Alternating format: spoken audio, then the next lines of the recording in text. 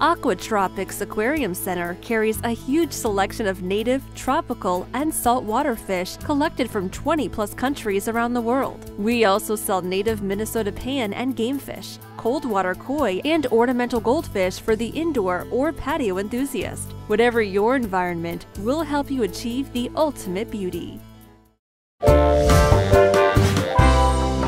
Aquatropics Aquarium Center. Call us or visit our website now.